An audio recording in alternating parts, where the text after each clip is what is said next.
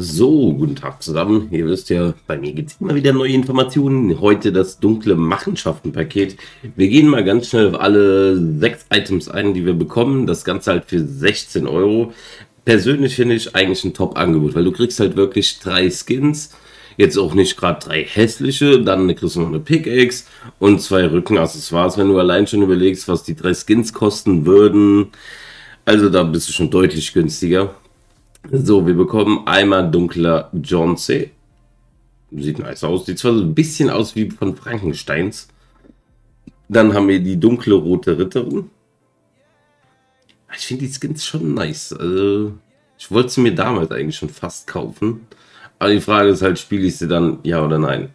Und ihr seht auch hier an der Jacke, man sieht immer noch, wie die Zeichen über den Rücken laufen. Also wirklich nice gemacht, das ganze Paket. Dann noch das passende Rückenaccessoire, dann der Würfel. Und jetzt kommt natürlich die Pickaxe. Die Pickaxe ist natürlich wieder interessant.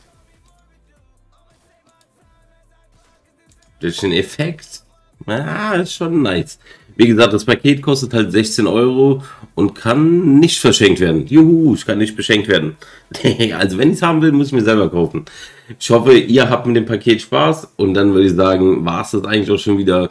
Wie gesagt, wenn ihr euch das gönnen wollt, natürlich auch gerne mit meinem Creator-Code YT-FamilyHack und in dem Sinne euch auf jeden Fall viel Spaß damit und haut rein.